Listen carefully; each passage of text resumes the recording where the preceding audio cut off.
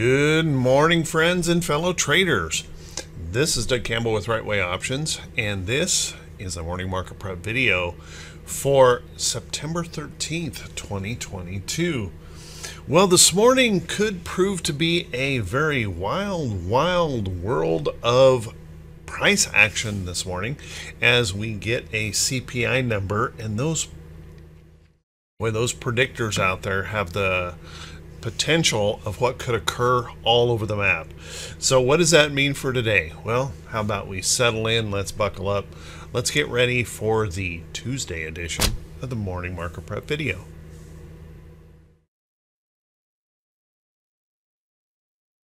Good morning once again, everyone, and thanks so much for being here. I do truly appreciate it. You know, it's going to be an interesting morning today. Um, those talking heads, those predicting talking heads and uh, all of the analysts are all over the map when it comes to what the CPI report is going to be today.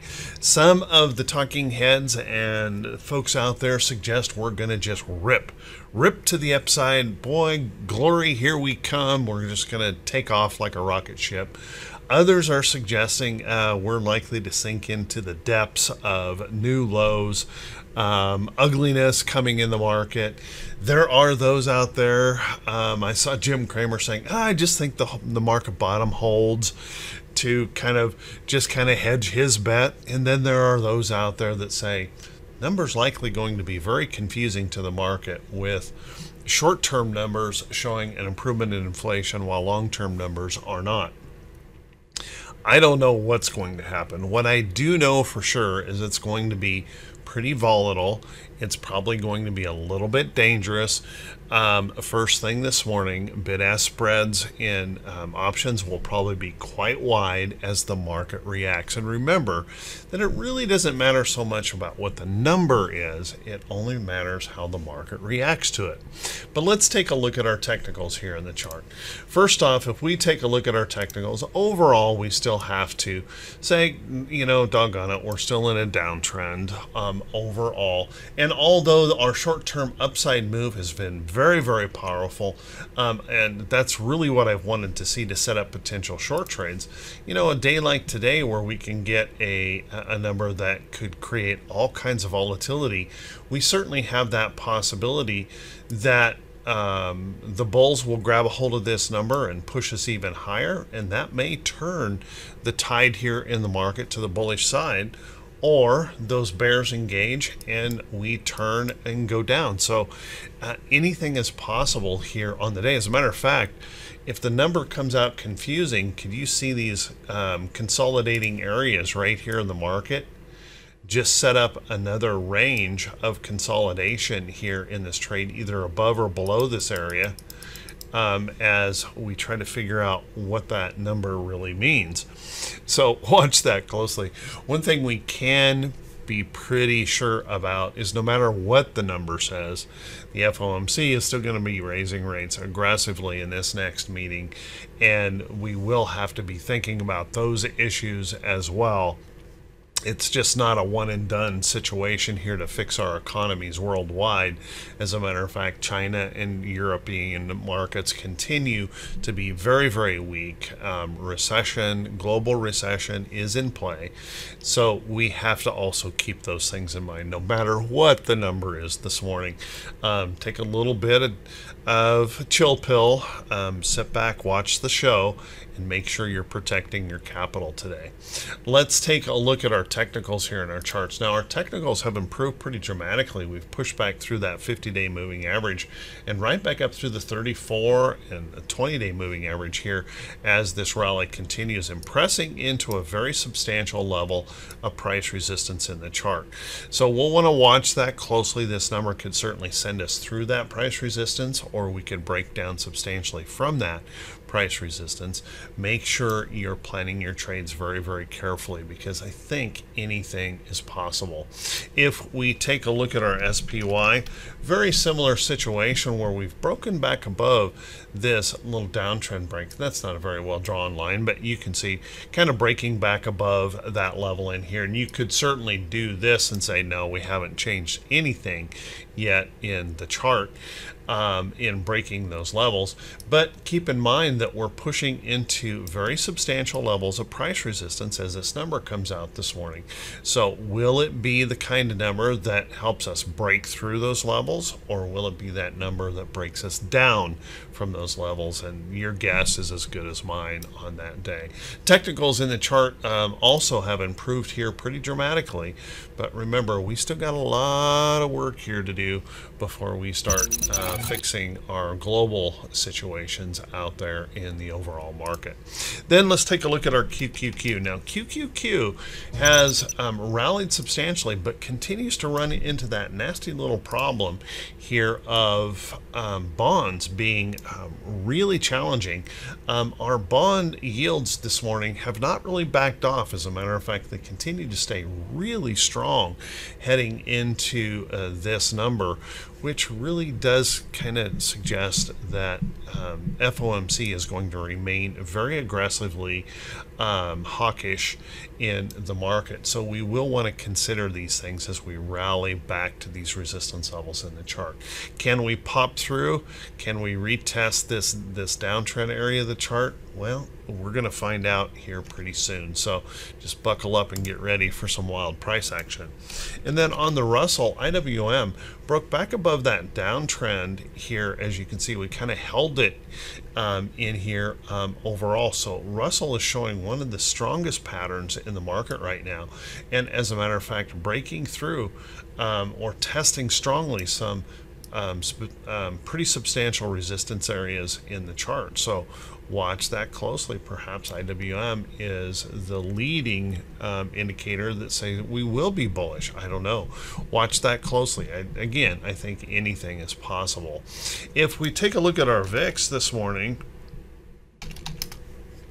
the VIX although we went up yesterday, um, interestingly enough, so did the VIX. The VIX um, started to increase a little bit of the fear, um, even though um, our markets remained bullish into the close yesterday. A little bit of fear. So you can see in the market there is that that acknowledgement that we don't know what's going to happen here in this number this morning.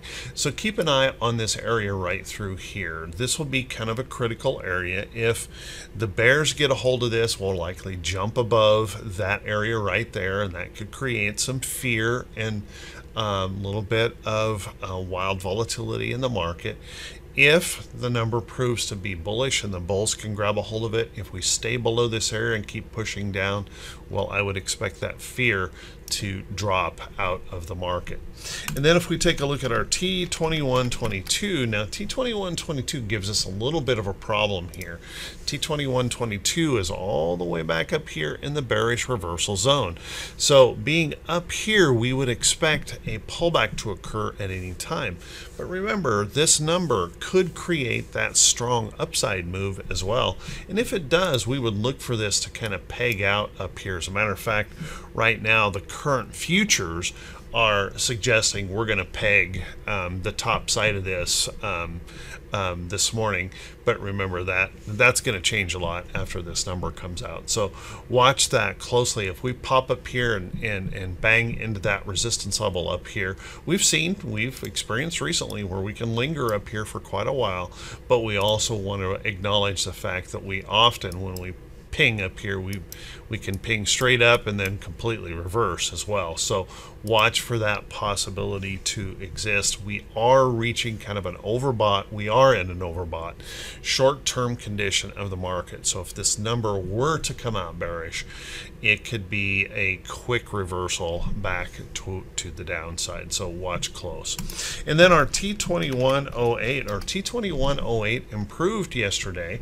Notice 52% of the stocks, um, almost 53% of the stocks, um, um, back above their 40-day moving average, so quite a whipsaw here in the market. But you'll also want to recognize we didn't really answer any questions here. Um, we still broke that trend to the downside. We haven't been able to break back through to the upside. Perhaps today is today. Watch all of that resistance in the chart that we're going to have to break through. Um, so right now, I kind of have to lean to you know the bearish side just a little bit here based on the technicals of this chart that we could push on back down just because we're kind of overbought in that short term. We've stretched this a lot. The thing that's going to change this is how we react to that number today.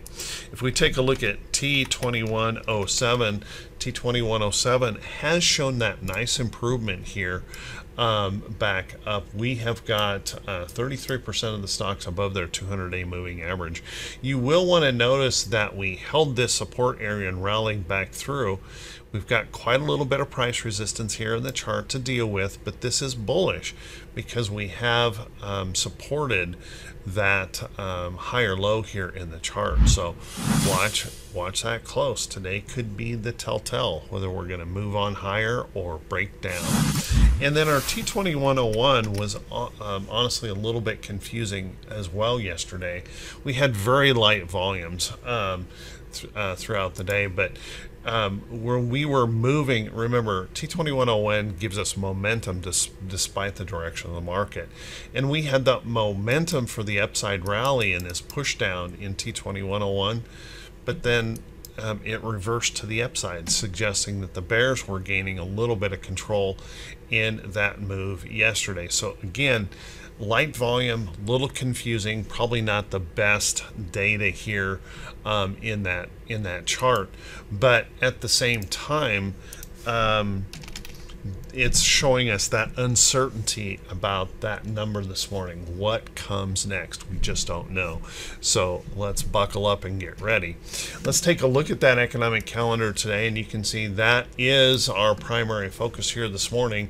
Um, coming out before the open, we're going to have that CPI number. We'll create a lot of volatility likely most likely could create some substantial price action whipsaws um, after they open, so be careful for that. And also, you'll want to be watching um, um, uh, for that um, the the potential of where we can just rip to the upside. We just get that melt up to the upside or melt down to the downside, uh, where things collapse. We could see some very strong moves one way or the other, depending on how this market reacts. Keeping in mind that we um, later on in the day we have some. Uh, a 30 year bond auction that we'll want to be paying attention to, and we've got the Treasury statement here at 2 p.m. Don't know that that will move the market all that much. But then, as we kind of catch our breath from today's big number, you'll want to pay attention. We've got PPI tomorrow. So we're going to go right into those producer prices first thing tomorrow morning and another most likely very volatile anticipatory number that could create lots of volatility. And then if that's not enough, we're going to jump right into all of this data on Thursday that can certainly be pretty substantial in price action movement as well. So you'd like to think we got past the CPI, everything's going to be great, but yeah, look for a little bit more volatility. And also remember, the CPI is not going to fix the world conditions out there. It's not going to help what's happening in China. It's not going to help what's happening in Europe. Um, it certainly could be very helpful here to the United States or very detrimental to what's happening in the United States. But the global recession, the global weakness that we're seeing out there is going to continue to be an issue we're going to have to deal with for a while looking forward. Let's take a look at our earnings calendar for today. Now, our earnings calendar, we only have um, a few on that calendar uh, today. As a matter of fact, 12 confirmed reports. And looking through those reports, most of those are very, very small cap, um, a very light volume type companies. Um, I could really only come up with one that you know made any kind of sense at all. You know, if you take a look at like YQ is one I'm reporting today, you know, a dollar sixty, not much in there that's going to be market moving. We're going to be totally focused on that CPI. So uh, the only notable, and it's only somewhat notable, um, that I came up with is CNM um, for today. And CNM looks like we had a good gap up here this morning on its report, breaking through some major resistance levels in the chart. So perhaps a higher low hold in here, and uh, we could be off to races and fixing some of the problems here in that stock this morning. Let's take a look at some stocks that could be setting up for today.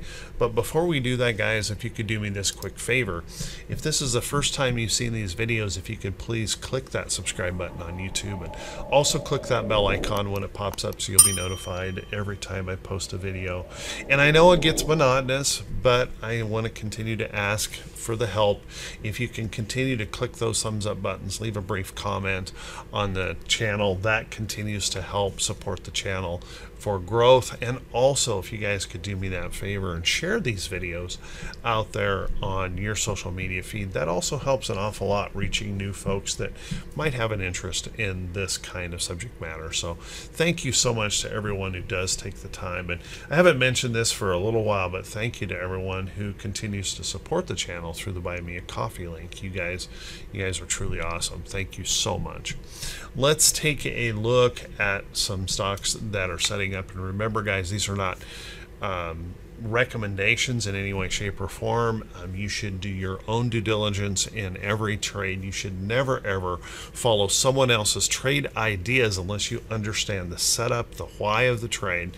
So make sure you're being very, very careful and you're doing the right job for your trading account and your tolerance for risk in these uh, potential uh, charts. Let's take a look at a couple of them. You guys know I continue to go over a lot of the same charts, but I got to tell you, they just keep working. So what are you going to do? Um, when you take a look at BJ here, BJ had a little tiny resting pullback yesterday. Um, after breaking through up here, I can see we're just kind of consolidating here just a bit. I think we need to watch this chart for that next opportunity, maybe resting out here, looking for that next opportunity to the. So keep a close eye on that. And what's interesting is I saw that happening in a lot of retail yesterday. Um, we had stocks like WMT uh, moving to the upside yesterday, trying to get something going here. Um, and some of these retailers uh, try to pick up a bit. Take a look at Target pushing up here, may be ready to rest or consolidate along this area right in here. And if it does rest and hold and maybe hold on to this trend, look for those next opportunities into those charts. Um, let's say Costco, whoops, Costco would be in that same vein, um, pushing back up through some price resistance in the chart. Any rest or consolidation in here, notice we're breaking that downtrend. So any rest or consolidation in here resumes that potential uptrend um, so keep an eye on Costco. That's looking uh, pretty good as well. Um, when we look at um, some, well, I got to tell you, it's kind of interesting yesterday when we saw the dollar pulling back and we're getting another pullback here this morning. That's pushing energy prices higher. Take a look at um, energy, XLE. And this is one of the things we're going to have to be watching pretty carefully. I know a lot of folks want to see that dollar pull back. But just remember when the dollar pulls back, oil is going to likely spike and push up higher. There are still those out there predicting, and I don't know if they're correct, predicting that oil could be somewhere between 130 $150 a barrel. The dollar falling would be the exact th thing that could create that. So while we want to see um, an easing in this dollar, we also have that double edged sword on this that if the dollar really starts to collapse to the downside and devalue, then we look for all of our commodity prices to um, start moving back up. And unfortunately, what that's going to do is fan the flames of inflation if all of a sudden our energy prices begin to spike back up due to the weakness, due to a weakening dollar. So we'll want to keep an eye on this because this is going to be pretty interesting as we move forward. Kind of a, um, a, a, delicate balancing act for the Fed uh, because um, the strong dollar is hurting countries around the world. A weak dollar could really create massive inflation here um, in the United States with um, energy and food prices spiking right back up. So be kind of careful in what you wish for um, here in uh, the market. But having said that, keep an eye on some of these energy companies. We're seeing um, um, lots of bullishness um, pushing back into um, some of these energy stocks. So watch that closely as they continue to try and break through resistance levels and push on up. Other places you might want to be taking a look. A weak dollar is going to create um, some new interest in um, natural gas. And I don't think the problems with natural gas are going to go away anytime soon. Over there in Europe, we have some major shortages of, of natural gas in places around the world. And you can see we're pushing back up here as that dollar weakens. So remember, a weakening dollar creates higher prices, food, energy, all of those kind of things. You might also start keeping an eye on some of these like uh, precious metals, GLD. Um, we haven't really broke out. This isn't ready for prime time yet, but we're trying to break that downtrend. And if the, this were to put in a higher low, then we'd want to watch that carefully. Notice kind of a double bottom situation here in gold. Overall, still in an ugly, ugly downtrend. So it's got a lot of work here to do. But again, a declining dollar would create a higher price in gold. In silver, we could probably expect to see um, steel stocks, aluminum, things like that, uh, palladium. Um, um, can move sharply higher on a decline in the dollar. So watch that closely. For the crypto folks out there, it will also create lots of bullishness in that crypto sector if UUP falls. So watch that close. but at the same time, UUP falls, expect inflation to go higher because our oil and gas will go back up and it'll go up substantially so watch that carefully. Um, you might also want to take a look at some of the other alternatives out there. You guys know I keep repeating about CCJ loving this chart I would expect a little bit of rest at this resistance up here that's what we're getting but keep an eye on some of those uranium plays they're looking just pretty darn good um, those um, additional energy um, sources. Um, uh, I've mentioned um, First Solar over and over last week, and that continues to look good. Um, notice we're not breaking down. As a matter of fact, what we're doing is resting and consolidating here. Watch for that next opportunity for First Solar to continue to push on higher. And then um, um, you might want to be keeping an eye on Plug, uh, Plug Power. Um, big hydrogen plays um, starting to come up as we start to consider well maybe maybe our electrical grid can't handle all of uh, these. Unless we start building some power uh, plants really soon we we can't supply enough energy to put everybody in an EV um, you know in the next few years. So watch that carefully. Here that possibility. The plug could continue to gain some ground and maybe poke through some resistance here in the chart soon. So with that everyone hey I want to wish you all a fantastic day. Thanks so much for being here this morning. I really do appreciate it you know, sit back, pop some popcorn, put up your feet, watch the show this morning. That's about all we can do. Anything is going to be possible after that. And your guess is as good as mine. So I want to wish you all of the best. Take care of yourselves, be safe, and we'll see you right back here bright early Wednesday morning.